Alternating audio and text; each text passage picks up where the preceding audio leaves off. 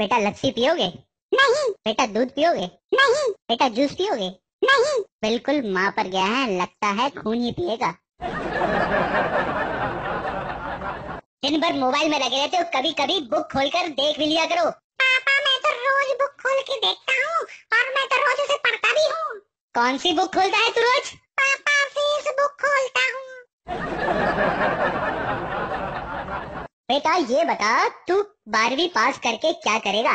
पापा मैं तो बीसीए करूँगा। अरे ये बीसीए क्या होता है बेटा? पापा बीसीए का मतलब होता है बाप के कैश पे ऐश। पापा आप तो इंजीनियर हो फिर ये अंगूठा क्यों? रामखोर तेरे मार्क्स देखकर टीचर को नहीं लगना चाहिए कि तेरा बाप पढ़ा लिखा है।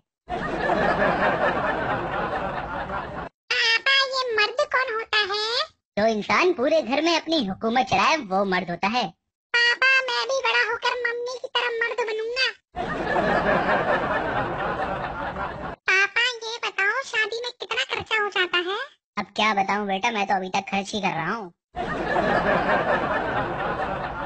पापा ये बताओ अगर आप रास्ते पे जा रहे हो और वहाँ पाँच सौ का और दो हज़ार का नोट पड़ा हो तो पहले कौन सा उठाओगे?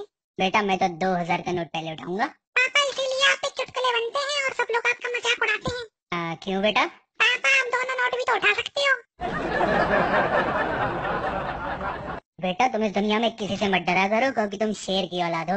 सही कह रहे हो पापा क्योंकि कल टीचर भी यही बोल रही थी। क्या कह रही थी तुम्हारी टीचर वो कह रही थी जाने किस जानवर की औलाद है।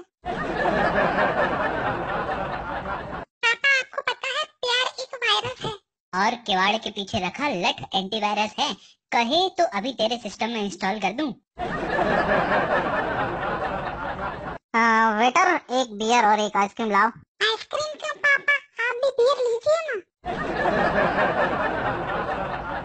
क्या कर रहे हो बेटा? पढ़ रहा हूँ पापा। शाबाश क्या पढ़ रहे हो? आपकी होने वाले बहू के एसएमएस रिज़ल्ट क्या आया तेरा? पापा एक बैड न्यूज़ है और एक गुड न्यूज़ है। गुड न्यूज़ बता। मैं पास हो गया। वाह और बैड न्यूज़